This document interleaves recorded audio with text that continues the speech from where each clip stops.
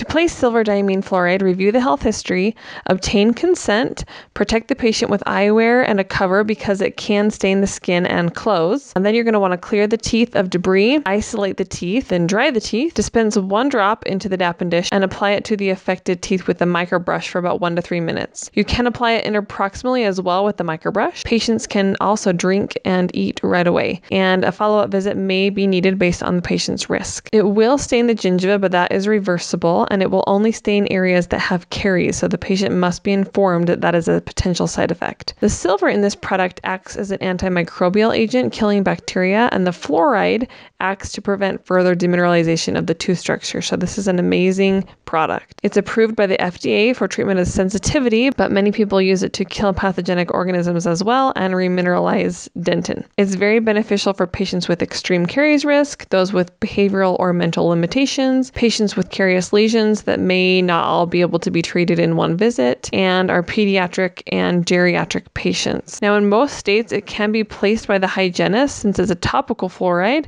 but be sure to check your laws. It can be billed under several different types of codes depending on what you're using it for. And this particular brand is called Advantage Arrest and it's sold by Elevate Oral Care from about 100 to $150 a bottle.